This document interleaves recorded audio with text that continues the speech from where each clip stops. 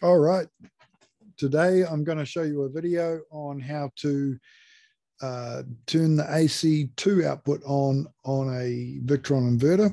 So I'm going to share a screen here and we're going to get into it. So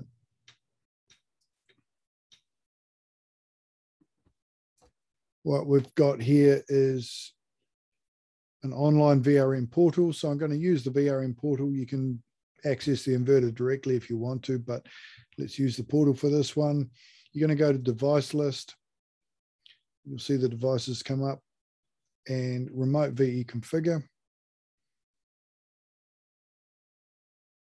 Now, If this is your first time or it's a new computer, you do want to download the software from Victron to actually enable you to edit the um, downloaded file. So I'm going to click on download now, open a new tab and just go Victron software. And that will bring up the downloads just so I can show you what to download. I've already got this on my laptop. Download Victron Connect, that's always going to help. And download VE configuration tools. So this is now accessing the file from the inverter itself. And what we want to do is basically turn on a hot water cylinder element when there's excess solar energy. So uh, that means when the batteries are pretty much full, we want to turn an element on so we can divert the excess energy into hot water. There are a few different ways you can do this. Um, and today we're going to talk about assistants. So I'm going to delete these assistants that I've already got in here and add one up, add a relay assistant and programmable relay, start the assistant. And which relay are we going to use? You can use any of the relays on the inverter itself, um, but we're going to use the AC out 2 relay, which is basically the AC out 2 terminals, phase neutral and earth, and it will turn the phase on um, according to these rules. And that will just give you 230 volts. So you could run a pilot wire or anything you like. We're going to set the relay on. And we're going to do it on various um, set points. And we've got DC voltage and we've got charge state or um, state of charge. So these are the main ones you might want to use DC voltage, charge state. Now, I don't think it's, well, it's not very good to select both or more than one to turn the relay on and off because it can get lost. It can sometimes turn on, maybe miss an off signal and stay on. You don't want that to happen. So it's better to keep it as simple as you possibly can. So let's do it on state of charge. So you can do it on DC voltage. When the battery voltage gets up to a certain point, turn it on. When it drops back to a certain point, turn it back off again. But let's do it on state of charge.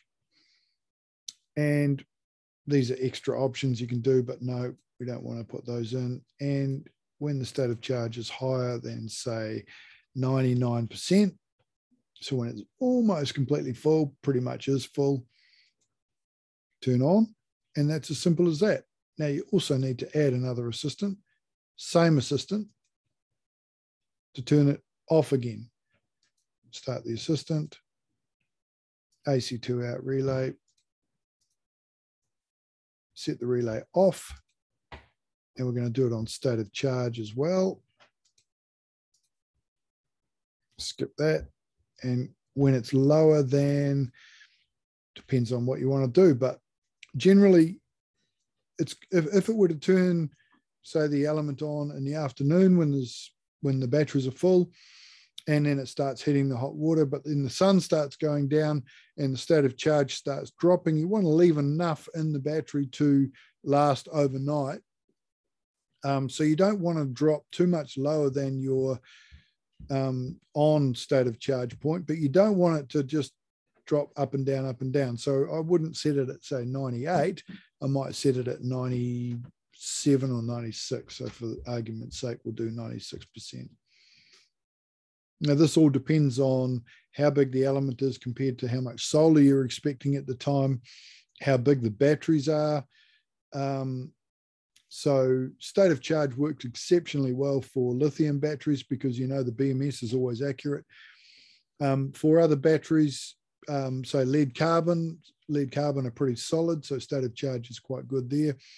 But for some batteries, you, you may decide you want to use voltage, uh, but then it gets into a bit of a issue when you're trying to decide whether it's on for the absorb voltage or the float voltage.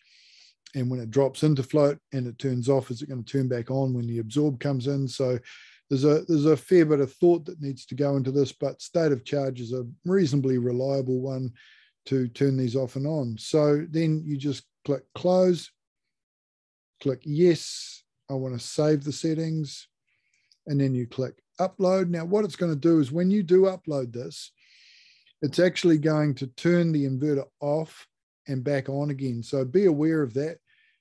They're going to, you're going to give the customer a power cut and you're also going to lose the internet connection unless the internet router is on a UPS but you're probably going to lose the internet connection for the period of time that it takes for that internet to hook back up for the system to get back online. So you select that and it will just automatically update and pump that up in there. It seems to turn off at about the time that it writes the assistants. And it will turn back on, and after maybe two or three minutes, you'll get connection back to it again. And I would advise you to actually do another download again, uh, just to make sure that those settings have actually taken fully into the inverter. And you should always be doing that. Um, okay, so any questions? Give me a yell.